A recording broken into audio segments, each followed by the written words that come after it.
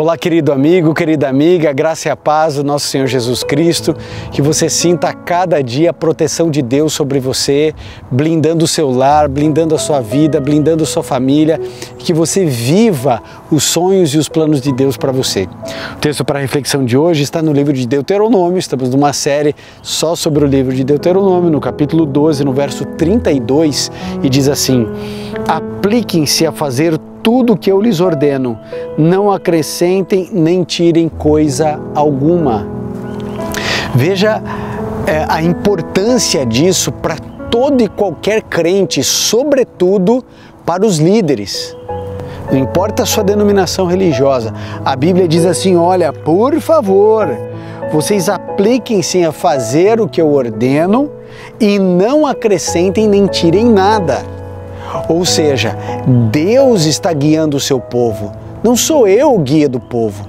Não é a igreja A, B, C, D e E que guia o povo de Deus. É Ele quem guia o seu povo.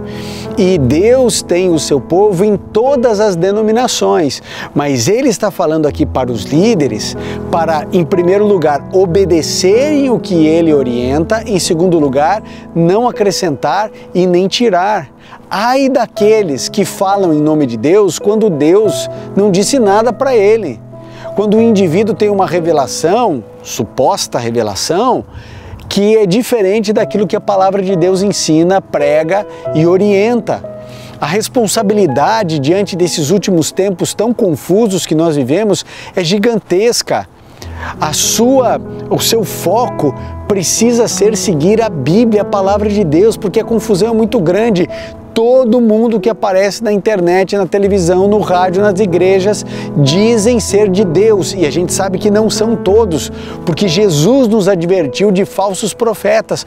Como que você vai saber? Se um é falso profeta e o outro não é. Um é verdadeiro e outro é falso. A única regra de três que você tem, amigo, é a Bíblia, é a palavra de Deus. Por isso que o diabo quer que você não leia a Bíblia, quer que ela fique escondida, pegando poeira ou simplesmente servindo como amuleto na sua casa com a Bíblia aberta numa estante.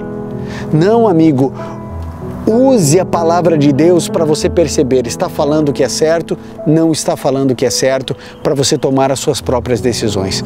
Se puder, feche seus olhos, curve sua fronte, vamos juntos orar. Bondoso Pai, colocamos nossa vida em tuas mãos para não sermos enganados. Queremos viver a tua verdade, a tua verdade somente, e é no nome de Cristo que oramos. Amém. E lembre-se, amigo, Deus é sua força e fortaleza e ele desembaraça perfeitamente o seu caminho.